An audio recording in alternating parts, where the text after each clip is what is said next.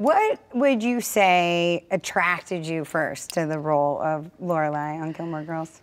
Well, so I've done it twice, right? And the and the first time I was really attracted to the language. It it made me um, I connected to it in the way I connected to things I'd done in theater. It felt a little heightened. It felt, um, you know, I, the character had these speeches and this great banter, and so I was just drawn to the voice, drawn to the the sound of this world. I thought it was so unique, and at the time, um, everybody, it, sort of my peer group, uh, saw it as a mom role pre- predominantly, and and there was all sorts of discussion of you know I was whatever I was 30 one or two and and you know was it a bad idea to to play a mom to a teenager and that that would age me and that you know and I just never it, that is not the first thing I thought of. Or the third thing I just thought this is a great relationship and and a world I wanted to spend time in. And I, I don't know if you have this feeling um, I remember reading somewhere that Christopher Reeve said he knew a part was right for him when he just couldn't stand the idea of anybody else doing it.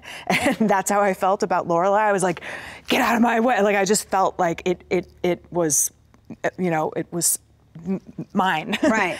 But I think that's also so fascinating because we are, we never know what parts we're going to get whether we fall in love with them or not. And I, I, agree with you that I think that when you feel it so innately, like it's already yours, there's mm-hmm. really no stopping you, which mm-hmm. means it was the role you were always meant to play. I can't think of another time I've felt that strongly. Um, and and what I didn't realize at the time was how rare that connection is. It's really like falling in love. It's like meeting someone, you know, and and love at first sight. It's just it's it has some sort of chemical uh, c- connection that you just you don't.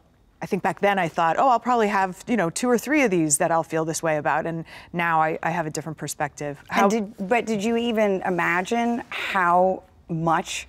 Both of those characters on the show would just become such a phenomenon of a relationship between like a mom and a daughter. It just hadn't been on television before.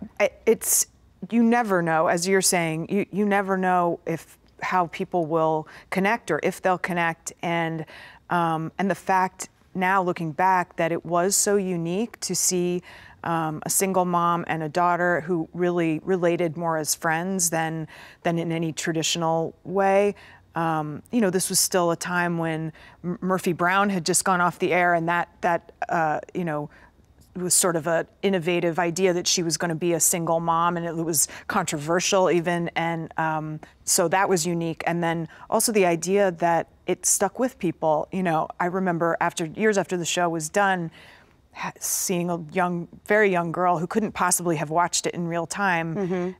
Be enamored of, of the show, and I thought, oh, this is like what Laverne and Shirley was for me, or oh. Mary Tyler Moore, or something. It was like I didn't watch it when it was on, but it meant so much to me in reruns. But you can never predict that, as you as I know. you know. But and that's thank God. Thank yes. God we now have a ways and means for people to watch stuff. Nobody knows when anything is on anymore, anyway. No. So if they could think that Gilmore Girls is actually on right, that's right now. That's right. You know, because now yeah. there's a new show, and so they're like, oh, it never ended. Right. And and so it's interesting to see what stands the test of time, you know, what people continue to connect to years later, and there's just no, no predicting that.